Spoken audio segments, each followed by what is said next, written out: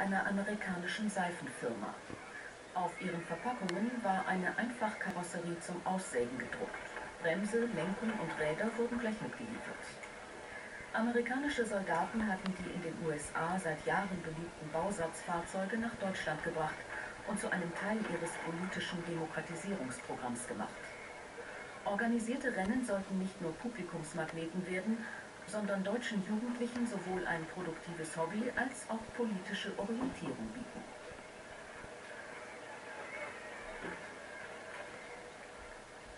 Zugleich werden die Heranwachsenden an die Konsumikone ihrer Zeit herangeführt, das Automobil. Sponsor der Seifenkistenrennen ist die Adam Opel AG, hundertprozentige Tochter von General Motors. Siegerehrung der drei schnellsten mit Goldkranz und anschließender Ehrenrunde in einem echten Straßenkreuzer. Nach dem Sonntagsgottesdienst strömt die Bevölkerung des bayerischen Marktfleckens Rennertshofen aus der Pfarrkirche.